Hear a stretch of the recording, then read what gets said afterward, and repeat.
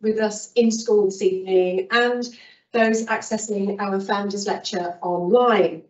So welcome to our 2023 Founders Lecture, our seventh annual event in this series. I introduced this lecture, this event in 2016 with the aim of bringing distinguished speakers to Manchester High to stimulate conversation and broaden perspectives. And on that note, we are delighted to welcome Dr. Ruth March OBE, who left Manchester High in 1974. And she's come to speak to us this evening about her work in biopharmaceuticals, diagnostics, genomics and precision medicine. Ruth is an experienced senior industry leader with an array of scientific and technological expertise in her sector and she currently holds the position of Senior Vice President of Precision Medicine and Biosamples at AstraZeneca. She's accountable for the development of novel companion and complementary diagnostics for AstraZeneca's drug projects in all therapy areas and phases of drug development. She leads more than 300 diagnostics and biosamples experts globally and has successfully launched 54 diagnostic tests for six precision medicine drugs. She was awarded an OBE in the 2022 New Year's Honours List for her role in developing diagnostic tests for COVID-19 at the very start of the pandemic, which became instrumental in maintaining the supply chain of key medicines, minimising the spread of the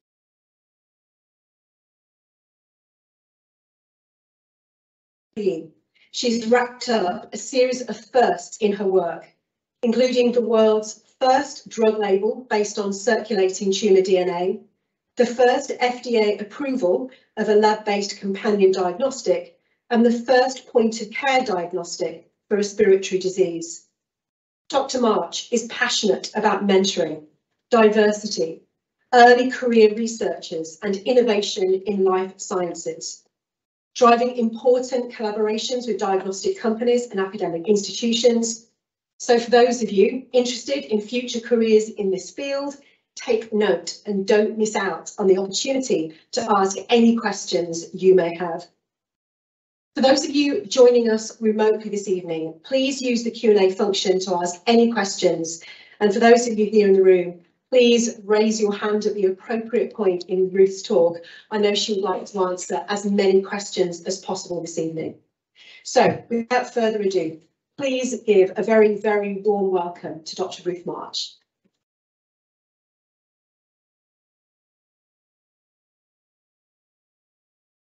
Thank you very much. And thank you to the mistress and all the organisers for inviting me to join you here this evening welcome to all of you online. I must admit, when I first got the invitation to speak here at my old school, I was a little nervous. And I do want to just check with the staff here that the statute of limitations has run out for overdue homework, because otherwise I think I might be kept behind to complete my Latin homework some years ago. That is correct, is it? Right, good. Excellent. So as was has just been introduced to you, I'm going to tell you something about my career, how I come to be here, and also what has inspired me about this school and other influences in my life to become a, a senior scientist at a pharmaceutical company. I will be looking for your help to tell my story. And I just, again, I would just like to hear that that is all right with you, is it? Yes. Did you hear anything? Um, can we hear it again, please? Is that all right with you? Yes. yes. Excellent. Good. So let's start out with why am I here this evening? So the actual moment that I received my invitation to talk to you tonight came when I received this honour from the Prince of Wales last November. And this is uh, an OBE medal. And as you can see, I was in Windsor Castle and received that for my services in COVID testing and also contributions to British science. So if anybody hasn't seen one of these before, I'll pass it around.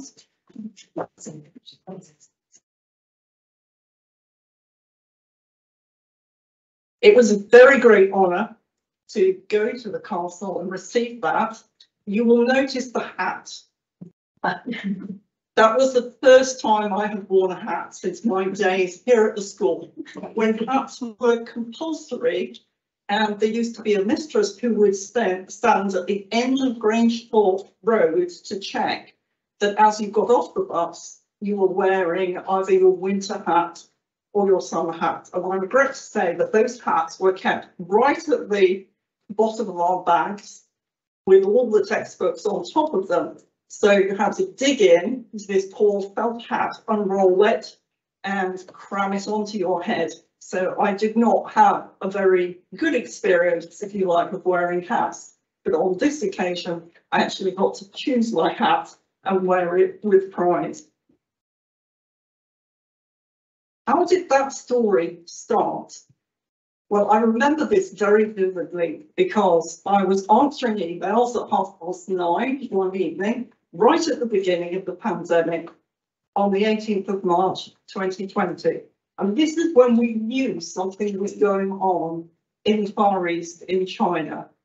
But we didn't really think that it would be anything that would affect us in the UK, in the US, and in Sweden. And then I got this email from my boss saying, can we see whether we can develop our own COVID-19 diagnostic test that we can use to test our employees? And you, in other words, myself and my colleague, get together with our teams and work out how feasible it would be to do this and how long it would take. And here's the reason why. It will be a top priority to help protect our staff and potentially help us to keep things running by giving people confidence that every time they get a sniffle, they are not infected with COVID-19. And then there was a period of about five to 10 minutes when I thought, do I reply to this? Because setting up a COVID test, uh, diagnostic test like this, particularly for an unknown target like COVID-19, would normally take in the region of six months. And we all expected the pandemic to be over in six months. And then we got a reply from my boss's boss, the CEO of the company, saying, can we target doing this in two weeks? We are used to beating records. And at that point, I knew I had to respond to the challenge and see if we could certainly try to set this test up in two weeks. So why was this? Now, we have three main research centres in AstraZeneca, in Gaithersburg in the US, Cambridge in the UK, and Gothenburg in Sweden. But apart from that, we have many, many more factory sites, and those are the sites that produce the supply of medicines that go to patients in our clinical trials and also patients once the drug is actually released. And what was happening is that those factories in particular are run on a very lean basis. They're mostly automated. There are not that many staff, staff that are in those factories. And therefore, even a small percentage of people staying on work could potentially fault the supply of medicines to patients. That's what we were trying to prevent. So 18 days later, not quite the two weeks, we had an end-to-end -end employee diagnostic testing program in the UK, in the US and Sweden. Now, what was central to this is that we had to go all the way from contacting employees and having a healthcare professional approving the test, which happened via an IT app that our, our IT team set up in more or less a week. So it was a bit of a string of, and um, sealing wax operation.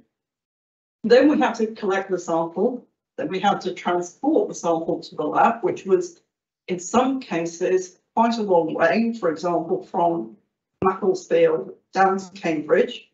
Then the sample was tested in the PCR lab in our R and D sites, and then finally the healthcare professional returned those results. And we got to believe that the healthcare professional, if the employee was positive, would do that by phone.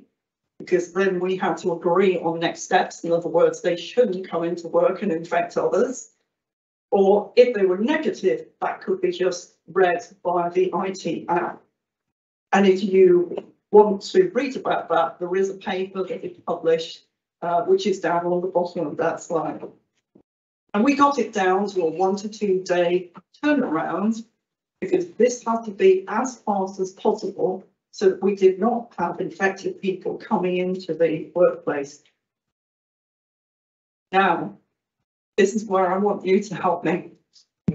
The initial adoption was only 30% of eligible employees. We were astonished by this. The whole of the UK was crying out for COVID-19 testing. We were providing them with a tailor-made free service, but 70% of our employees weren't taking that up.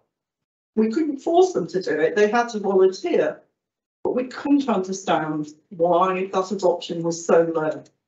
So we had an independent firm go and ask them anonymously. So can you put your hands up, please, if what you think is the main reason why the adoption was so low? Was it that people did not understand the science? Was it that their local leaders were not communicating that this was a priority? Was it that people struggled with uh, that IT app, which I told you had been very hastily put together? Was it that people were afraid of using the nasal swabs? You remember those long nasal swabs that we used to use? Or was it that people needed a rapid result? So was it, who thinks it was number one? Who thinks it was number two? Who thinks it was number three? Who thinks it was number four?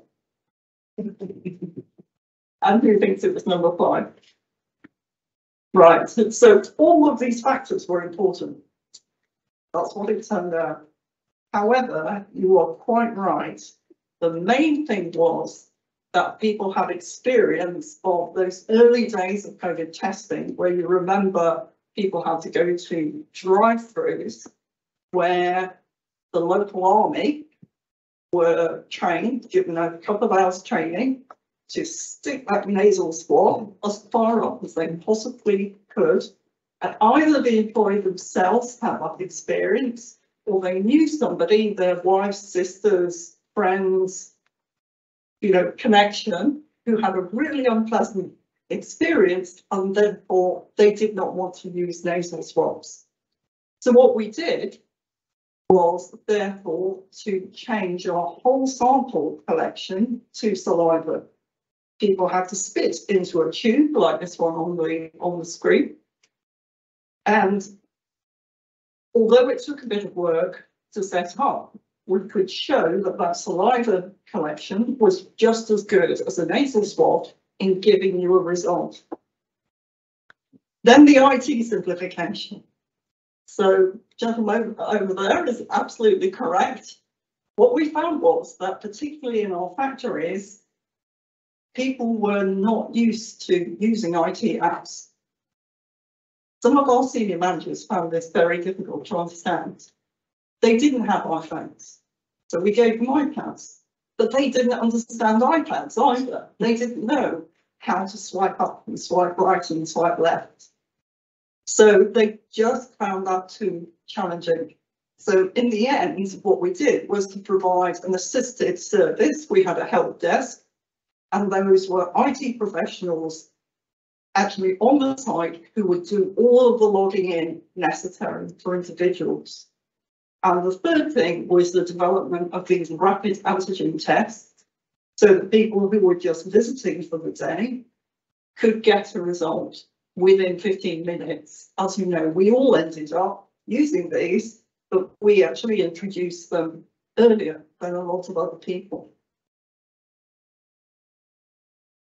So what we found was that this, bringing all of those measures together, gave us a five-fold increase in adoption rates and therefore insight protection. So this is the scientific graph. So if you could just follow the amber part, and the amber part in the first month is around thirty percent. And then it stays at about that level. It actually goes down a bit over the summer and then it starts to climb. And it ends up with nearly hundred percent of eligible employees were willing to test. Then what you see in Mulberry is the external rates of positive tests. And in comparison, what we had at the AstraZeneca sites were tenfold lower than the rates externally. So our measures were being effective in keeping that, that positive infection out of our workplace and helping people feel safe. So the outcome, of all of that was the end of the pandemic. Not a single manufacturing line for medicines was closed by workplace infection all around the world. So that was absolutely remarkable. And in fact, when we started to do research again, our research into cancer and other diseases continued without interruption. We had many people telling us, and actually they're still telling us, that they felt safe because they knew that not only they were not infected, but all their colleagues around them were not infected because they had been tested. And very importantly, we learned lessons that could be applied to leadership in general and diagnostic testing. Okay, so let's now take another step back and look at where did it all start. And you'll notice that this is a picture of the school from your website, but this is one of the very few parts of the school that I still recognise as being the same as when I was here as girl. So actually, my journey to Manchester High started earlier than that, and it started a few decades earlier. My mother came to this country on what's called the Kindertransport as a refugee from Nazi Germany. If she had not escaped from Nazi Germany, I would not be here today. And that was very important to us, to both my parents, who emphasised the need for education as a way to overcome all sorts of prejudice that took place during the war and made their lives so difficult. So my parents had this emphasis on education and this school also had a heritage of helping people from different refugee groups, as I believe it still does today, and also welcoming people of the Jewish faith. And there, uh, there is proof that it's me at school. You may not, this is a really poor quality photograph. It's the only one I've been able to find. Um, but believe me, that girl there outlined in red, it's myself at about 14. But would my teachers, would I have predicted that I would end up here as an expert in science? With all the glowing uh, testimonials that, that have been read out. How well do you think I did in my first year science test? Again, I'm going to ask you to put your hands up. Was it between naught and twenty percent? Was it between twenty-one and sixty percent? What it between sixty-one and seventy-five percent? Or was it above seventy-six percent? Well, I'm delighted to say that you are all wrong. In my first year science exams, my result was so low that my very considerate teacher didn't actually read it out loud. She hmm. came to tell me privately afterwards. Just as I'm not going to announce it now, I will tell you privately if you want to come and ask. It was very low. And it was amazing that I was allowed to do science after that result. So I was certainly not predicted to have anything to do with science after that. My subjects were mostly in the arts, English, history, music. And those were subjects that I enjoyed and therefore worked hard at. I did not enjoy science and therefore I did not, um, I'm afraid to say, work hard at it. However, as I went forward and I continued into senior school, and my teachers allowed me to take biology and physics at senior, senior school. I actually got enthralled by what I would call the mysteries of science. So things like if I would be in the school grounds and I would look up at some of the tallest trees, how do the sap of that tree actually get the topmost leaves? And the fact that when I looked at my textbooks, it wasn't a hundred percent answer to that. There were things that contributed, like transpiration, like capillary action, but nobody could actually put forward a formula and say, this is it, this is the answer, just learn this and that's the answer. So that sense of mystery of things still to be discovered was something that fascinated me. And then something that continues to this day, when you look around different people, you can see that they look different, different gender, different hair color, and other things that maybe would lead you to suppose that there's some underlying differences between them. And nobody could explain what that was. Some things we obviously know are due to differences in the way that people are brought up. Other things may be because you're an introvert or an extrovert, but apart from that, what are those other differences? And that grew to interest me very much and something that I took forward then into my university career. Again, Chris Tom. So this time we're going to go through this quite quickly. I want you to put your hands up if you think this statement is true. And then we'll come back at the end and consider the answers. So is it true that the DNA that you are born with contains all the instructions your body needs to grow? Who thinks that's true?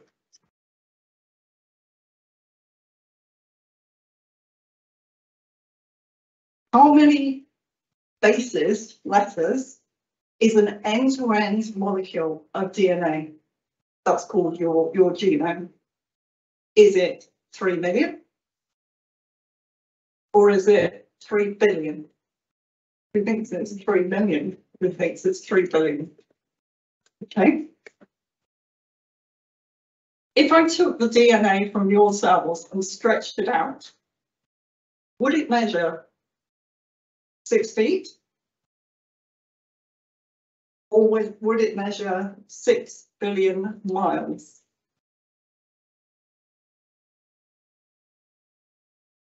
And is it true that humans share over 99% of their DNA sequence with other humans?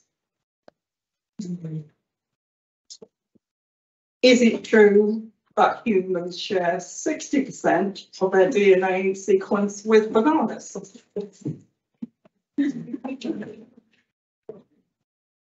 Okay, so number one, the DNA that you were born with contains nearly all the instructions your body needs to grow. There are some changes that happen after birth.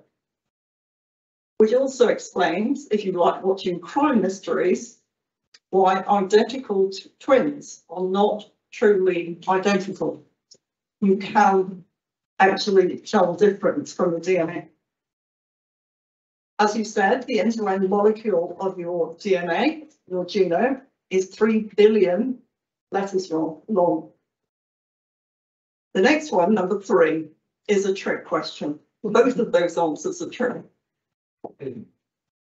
So if you took the DNA from a single cell, it would be six feet long, one cell.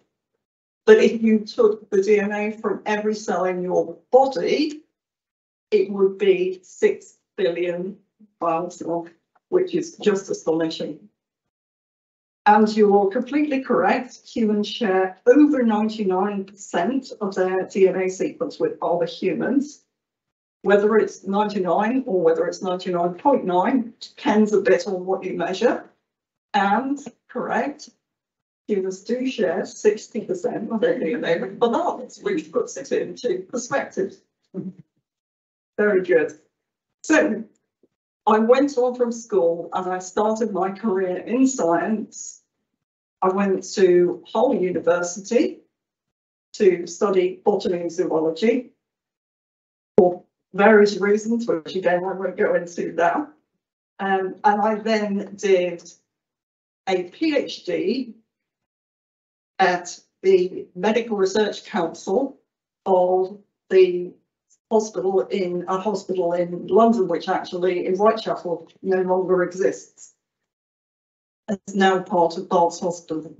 And then I did various postdocs at uh, University College London and at the University of Oxford. And finally, I took up a lectureship at Brunel University in London. And at that point, I had the opportunity to join AstraZeneca. And the reason I had the opportunity was because before I went to Brunel, I had written, I was about to be unemployed, and I had written to every single place I could think of that were offering jobs. And it was only after I started at Brunel that AstraZeneca wrote back and said, we think we have an opportunity that might suit you. Would you like to come for an interview? So why would I come to an interview at AstraZeneca? Again, I'm afraid that the reasons are quite practical. I have two very small children at this stage that didn't sleep the idea of having two nights in a very comfortable hotel bed was immensely appealing. And the hotel even had a spa, so I could go swimming on my own. It's great. But as I went through that interview, I came to realise that again, some of the interviewers were talking about my favourite question, which is, what is it about individuals that makes them different? And in this case, they were talking about a subject called precision medicine, which is why people respond differently to medicines. So I joined AstraZeneca and gradually through the years, I moved into the subject of precision medicine. So precision medicine is quite a simple idea. It's founded on this idea that people are different. They have tiny little differences in their in their bodies and their cells, not only DNA, but proteins, other enzymes, other sorts of differences, which we call biomarkers. And so what we're doing here is to identify the patient, again, taking a sample in the same way that we did for the COVID-19 testing, looking at those biomarkers and then having a diagnostic test which can inform the treatment options.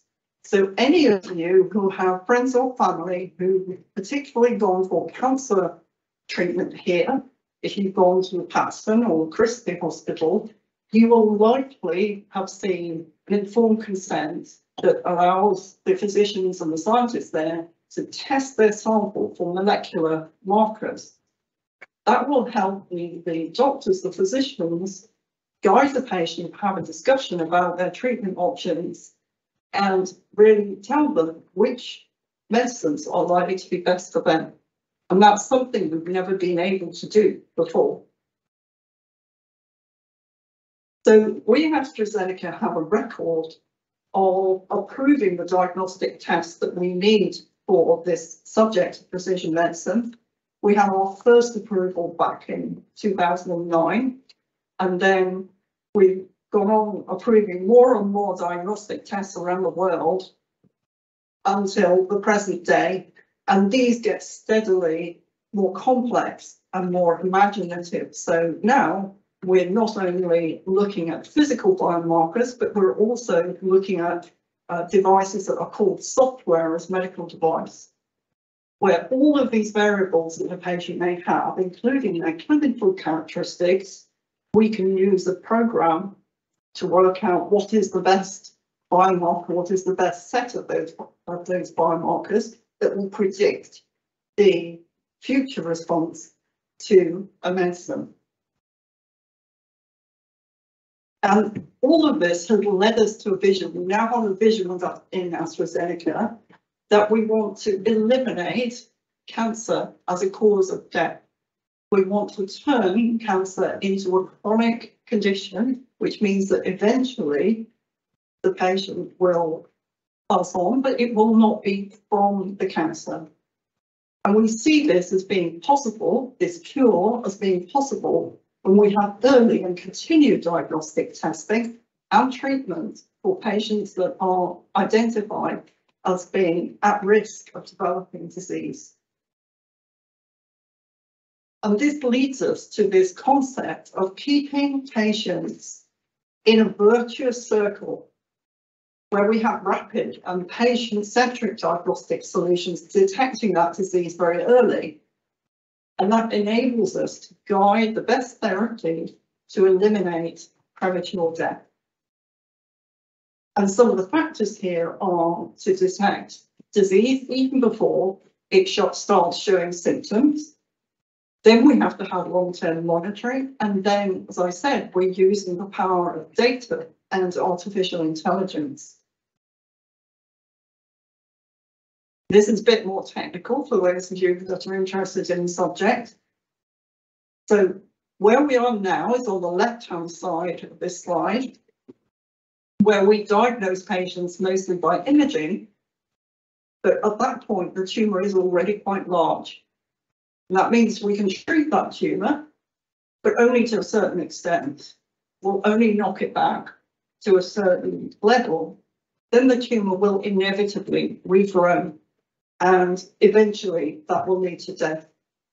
If we can diagnose earlier when that tumour is of a much smaller volume, then we can knock it back with treatment so that it's almost at the level that a healthy person would have. If it does reoccur, we'll be monitoring that and again we can knock it back. And that's where you get the prospect of long-term survival and cure. We're not there yet, but we're working towards this. What do you think this is? Anybody?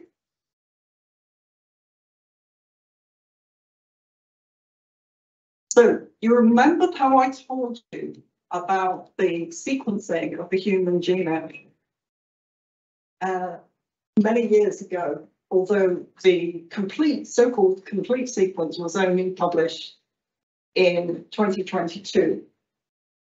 The sequencing of the human genome took armies of people all around the world, millions of dollars, rooms full of big sequencing machines.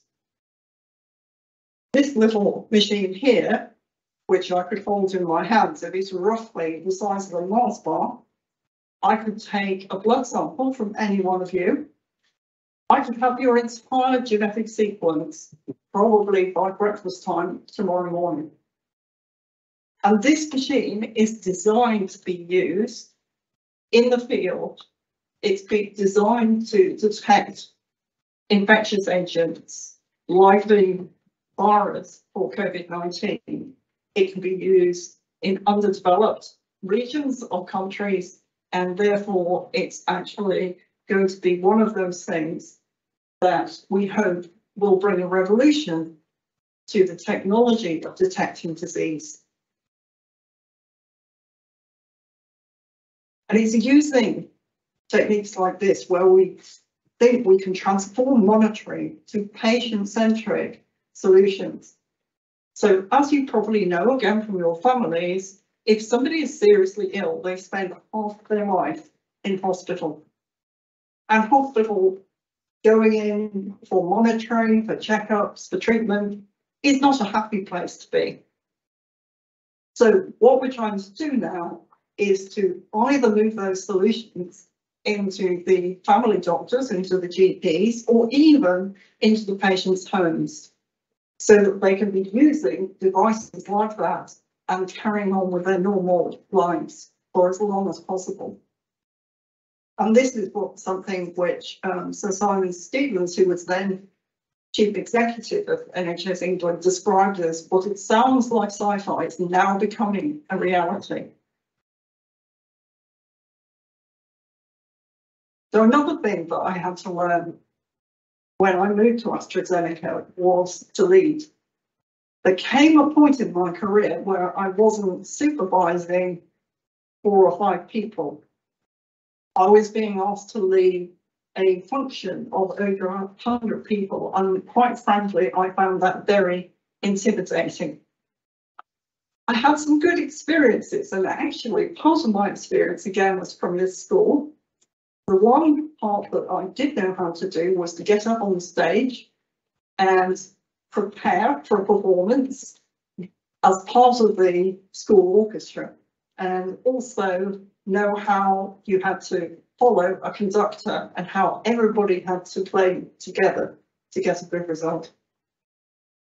So this is a few years ago, my team is now bigger than this.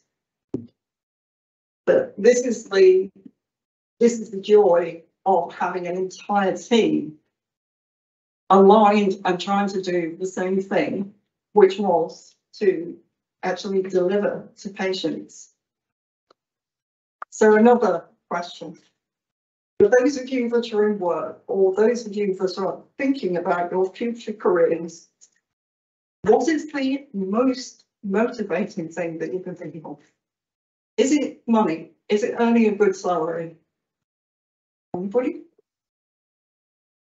Is it having job security and pension? Those sort of things. Is it recognition, being recognised as being the best in your field? Is it helping others? Is it having the freedom to create something of yourself that you're going to leave for future generations? Is it having the best managers and colleagues around you?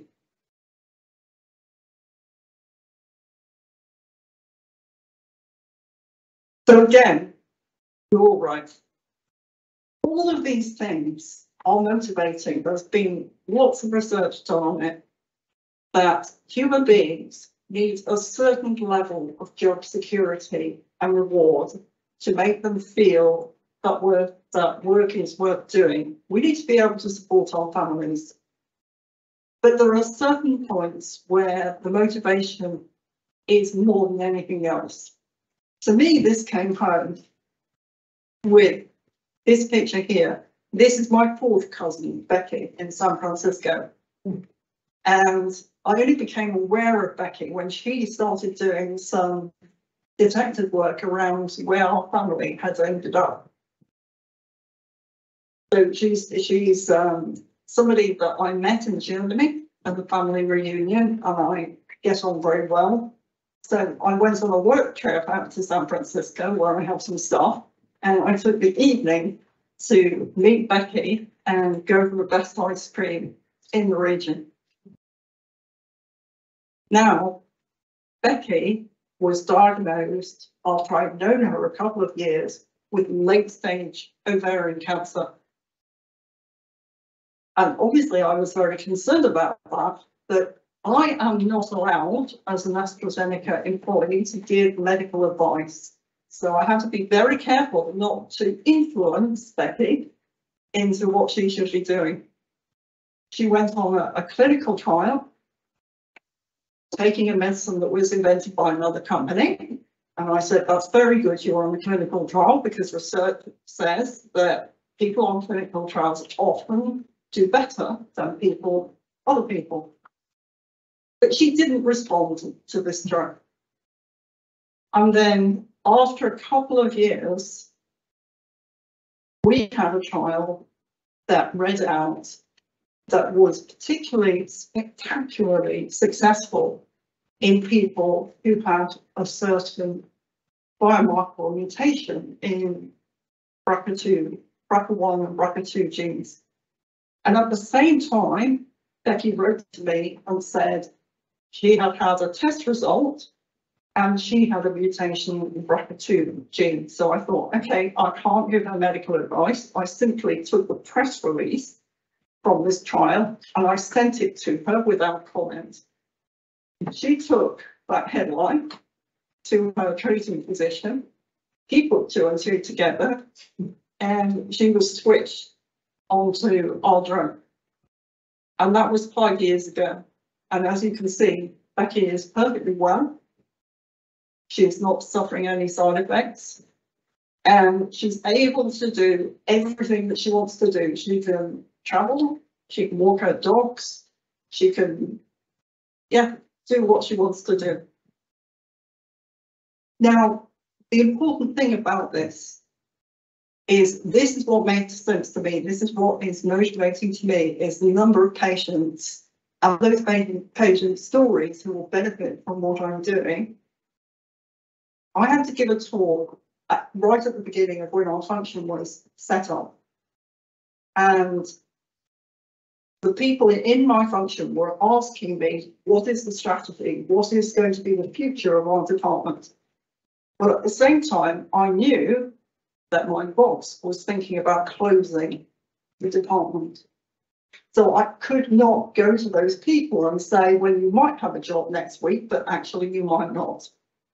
And that's, if you like, that's going back to what we asked about, having the job security and having that basic level of reward to support people's families. What I could tell them about was about the story and our delivery to patients. And that's what I did. And everybody in that meeting found it so motivating that even though there were individuals after that who were made redundant, by the way, they all got jobs afterwards, so I, I followed them up and made sure of that, that they did not have any resentment because they understood that what we were doing was for the benefit of patients. That was a very difficult time as a leader. So as I'm coming to the end, I want to go back with all that experience. What would I have told my younger self? And this is, again, you probably can't see that, but when you see the red circle, that is actually the year before I joined Manchester High. Uh, I, I was I joined Manchester High at 10. I was, because I was born in October, I missed the last year of primary school, which is my excuse for why I don't understand fractions. so this is what I looked like when I joined Manchester High. So the first thing that I would tell my younger self is to learn what you enjoy. Because basically your best. You will put the most effort into what you enjoy. I saw that other people in the school loved to exercise and they built muscles. I wasn't particularly good at games. But what I did enjoy was reading and studying. And what I grew to appreciate was how that repeated exercise of your brain actually builds muscles and connections in your brain as well. I had other things that I did outside of school. I loved riding horses, I still do, and I loved swimming. And we did have the, what was then the new swimming pool completed, and I loved swimming in that pool. And during the pandemic, I did to go to appreciate swimming in the outdoors. And this was my New Year's resolution to actually get into Lake Windermere over New Year in a wetsuit, a very thick wetsuit, um, just to make sure that I could still do something a bit out of the way. If I had stretched myself a bit more, I think, at school, by not only learning what I enjoyed, but learning to enjoy what I was learning, then I think I might have saved myself some trouble in actually the, the teaching that I was being offered here. I would have had to go to night school to repeat that one science exam that I never took at school. The other thing that I would say is you are taught here to study and to do well and to be competitive. When I was at school, it was sometimes a very high pressured environment. I don't know if that's still true today. I expect that it is. That you will go through those periods where you feel the pressure. And it's at those times that you need your friends. And in some cases, those friends that you make at school will be friends for the rest of your life. This is one of my best friends at school and my sister-in-law. I won't tell you which, which is which to preserve privacy. But I really appreciate those friendships even today. And also, if anybody does start to suffer with the pressure, it's friends who spot that. It's not teachers. Sometimes it's not even parents. It's the friends who will spot if somebody starts to go a bit quiet or drop out of social activities. And it's really important that you take care of each other. And I'll end with something that I took from your website, which completely resonated with me. What you get from this school is the confidence, obviously the academic advantage, but also that spirit that one day you are going to make a difference. You can make a difference to the world that is meaningful. And believe me, if with my start to science in this school, leading to where I am today, if I can do it, anybody can. So thank you very much for listening, and I'd be happy to take any questions.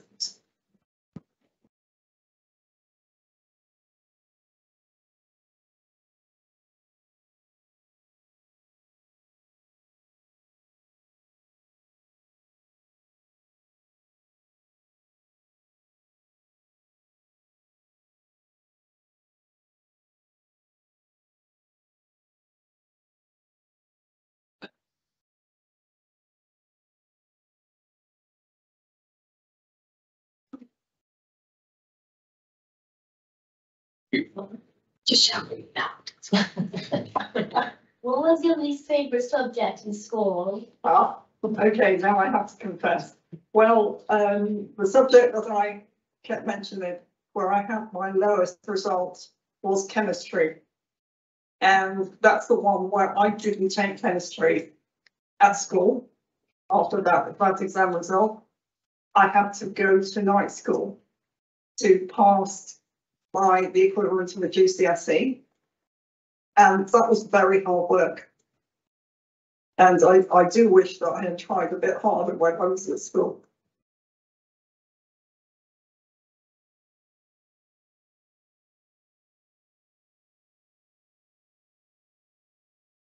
You've done so much, what's next? What's next? That's a, that's a great question. Well, we are, we are continuing along that vision of trying to stop cancer being a cause of death. That means that we're working with ever more novel technologies, working with more and more patients in different settings. Basically trying to take the medicines and the testing to the patients rather than expecting them to come to the hospital.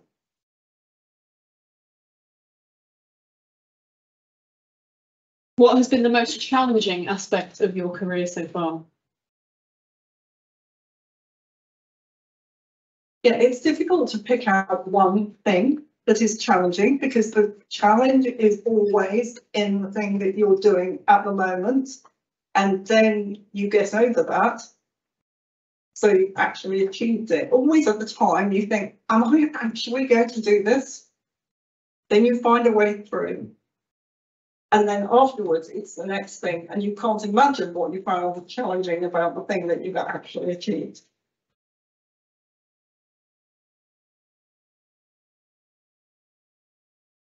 Do you do any academic work or is most of the time is occupied by management? Yes, um, so I do academic work, not as a, I sometimes do invited lectures, which I enjoy very much. And I tend to accept invitations, particularly from student groups in Cambridge. And I also contribute to collaborations with academics, some of which are much bigger and better than we could ever do internal to AstraZeneca. So, yes. What have you had to sacrifice to be in the position that you are in now? Yes, good question. Um, I think what I have sacrificed is free time. As I said right at the beginning, I was on my computer at half past nine at night to receive that email. On the other hand, I get bored very easily. So I don't actually see that as a very great sacrifice. So you talked about um, the fascinating and fantastic developments in technology. Do you think the UK health um, agencies and the NHS are ready to take advantage of all the technology and all the great work? Yes, so what we found during the pandemic was that we in the UK actually led in technology development. Everybody worked together, the NHS, the government, uh, academics, ourselves in industry. It was a very informal and intense environment and therefore we progressed very fast. Whether that will continue is another question and probably not one I can answer.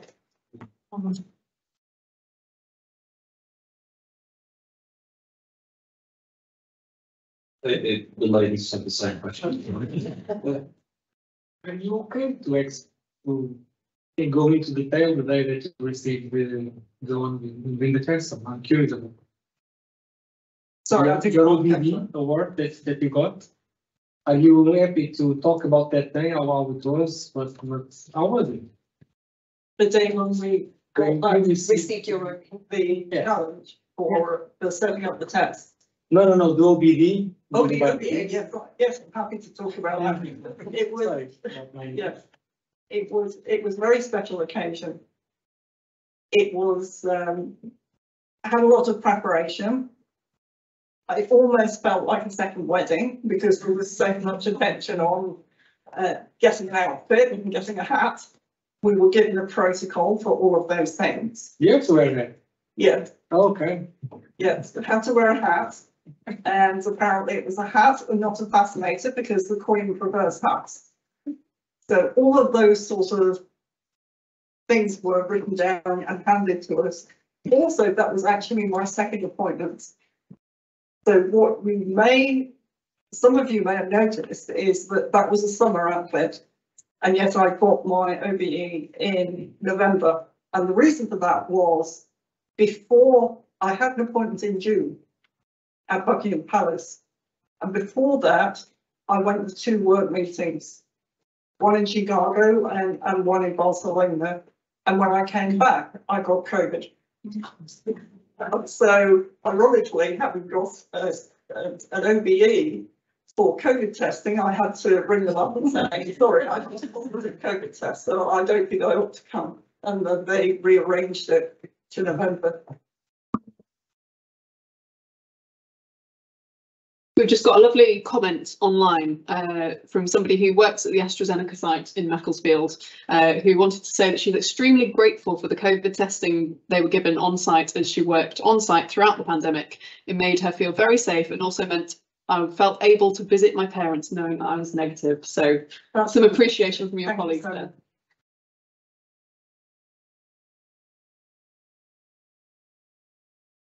Um, can I, can I thank Ruth on behalf of everybody who's here this evening and who's at home?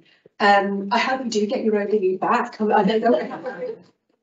Slightly worried about that. Um, but I think the achievement of, of making sure and contributing to that team that made sure that AstraZeneca's work wasn't interrupted is absolutely staggering. And I think for somebody who's such an expert in the field, particularly precision medicine, I've learned so much this evening. And that you did so poorly at year seven test. How amazing is that? And what an inspiration to all of us. Um, so thank you so much for your inspiring talk. And we are incredibly proud that you started at Manchester High. Um, Eve, our head girl, has just got a small thank for the very information for you so much. Thank you so much for inviting me.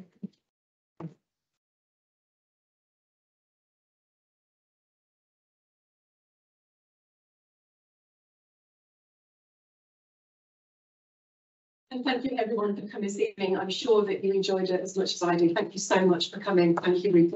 Thank you.